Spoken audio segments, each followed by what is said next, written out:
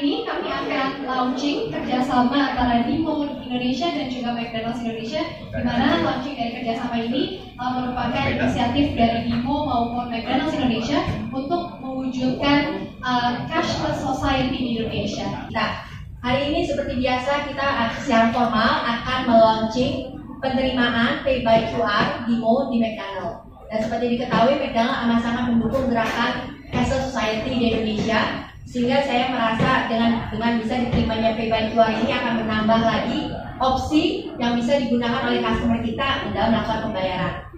Uh, saya senang sekali hari ini bisa launching uh, kerjasama kita dengan Bimbo dan McDonald's Indonesia. Uh, seperti yang saya uh, sudah bicara, saya nanti tidak memperlami. Ini adalah suatu gerakan yang kita bersama-sama mendukung program pemerintah untuk mewujudkan cashless society di Indonesia.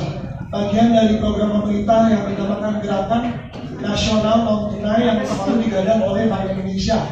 Nah, ini kita pasti sudah tidak asing dengan penggunaan digital dalam segala kegiatan aktivitas kehidupan kita. Belanja sudah online, pesan ojek online, uh, pesan makanan juga. Sekarang juga bisa ke uh, macam-macam seperti McDonald's yang sangat support teknologi dan juga uh, teknologi teknologi non tunai bisa bertransaksi di McDonald's dengan hanya dengan smartphone saja. Sangat mudah, aman, dan nyaman. Um, ini juga suatu bentuk uh, uh, dorongan dari Dimo untuk berpartisipasi untuk membangun justice society di Indonesia. Dan indah, uh, bagusnya adalah kita itu bukan uh, seperti uh, mobile wallet yang lain-lainnya. Kita itu lebih seperti uh, platform infrastruktur yang terbuka. Kita bisa bekerja sama dengan segala uh, pemain sistem pembayaran yang lain, mau itu e-money, wallet player, atau uh, mobile banking aplikasi yang ingin uh, mendorong uh, transaksi non tunai dengan teknologi pay by QR bisa bekerja sama dengan kami. Dan kami percaya kerjasama dengan McDonald's Indonesia hari ini bisa bantu mengakselerasi uh, masyarakat Indonesia terhadap uh, tujuan pemerintah Indonesia ini uh, ke, untuk cashless society. Kita sama-sama ini sangat ringkas banget jadi cuma foto one scan away langsung bisa makan McD dengan kenyang ya. Nah ini kita akan mengundang lagi Ibu Yanti dan juga Bapak Mario untuk sama-sama ngobrol-ngobrol uh, lebih lanjut tentang kerjasama ini.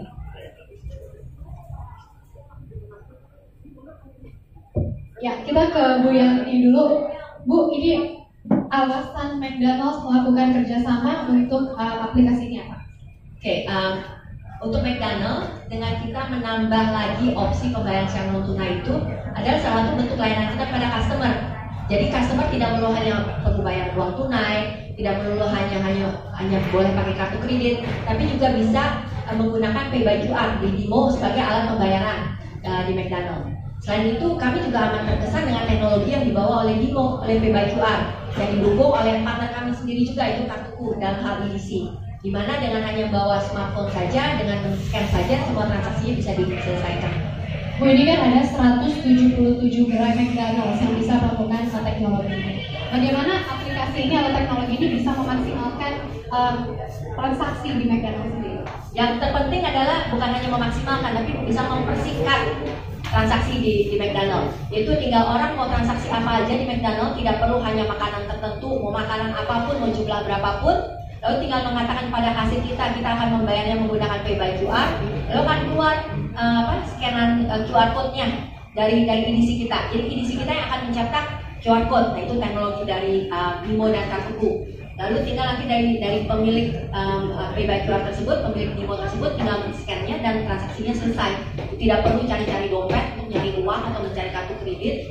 Tidak tidak perlu pinjam uang dari tetangga dari temannya bisa langsung bertransaksi yang penting ada saldo ya yang penting ada saldo ya, ada saldo nah untuk dari pihak Dimo sendiri ini secara jelas mungkin rekan-rekan media juga belum jelas nih apa sih yang ditawarkan uh, oleh Dimo kepada para pelanggan McDonald's ini Uh, sebenarnya buat kami juga sama untuk uh, meningkatkan kenyamanan konsumen McDonald's tentunya.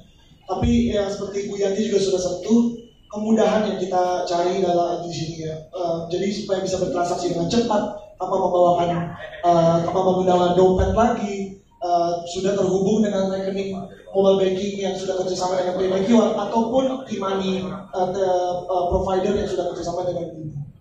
Kerjasama ini kan disebut-sebut bisa mewujudkan cashless society. Realnya seperti apa sih? Uh, jadi uh, memang kita kita uh, ikut berpartisipasi untuk support program yang cashless society dengan secara serius. Makanya kita selalu tekankan ini mobile payments, ini cashless, dan kita selalu mengembangkan teknologi kami supaya bisa lebih mudah, lebih cepat lagi seperti yang Bu Yanti uh, bicara. Uh, ini yang penting cepat gitu. Nah kita selalu memfokuskan gimana teknologi kita bisa memangkas lagi juga dari segi berapa detik supaya bisa lebih cepat lagi dan reliable. Dengan kenyamanan ini dan juga ketersediaan uh, ini di semua gerai McDonald's yang 177 cabangnya di seluruh Indonesia, ini akan bantu uh, menjangkau segala lapisan masyarakat yang sudah menjadi pelanggan McDonald's untuk bisa menikmati dan menjadi bagian dari cashless society. Sudah ada sejak 2014, Bimo betul? Betul.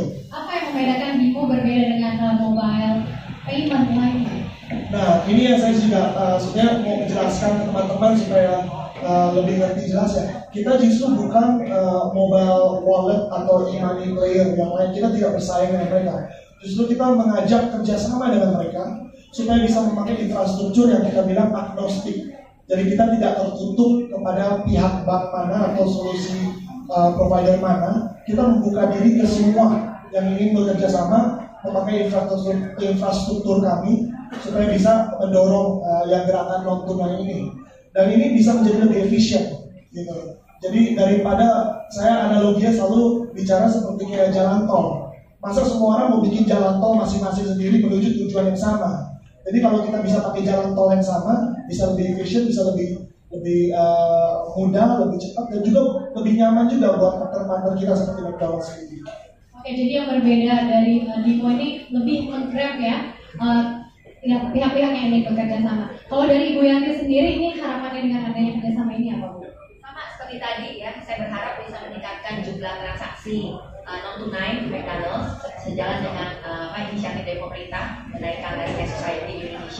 dan juga yaitu memberikan kenyamanan pada customer kita ya jadi kalau mereka mau transaksi di McDonald's mereka tahu mereka bisa pakai apa aja. Selama masih ada saldonya bisa pakai tiket bisa pakai kartu kredit bisa pakai kartu debit bisa tunai atau bisa bisa juga dengan pay QR Sejauh ini sebelum launching hari ini sudah dilakukan juga uji coba dengan uh, pay by QR. Respon masyarakat seperti apa sih Bu?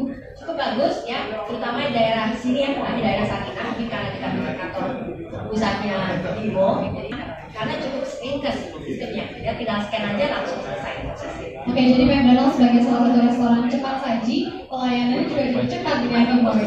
Oke, kalau itu dari harapan dari pihak McDonald's, kalau dari pihak harapan uh, adanya kerjasama ini seperti apa?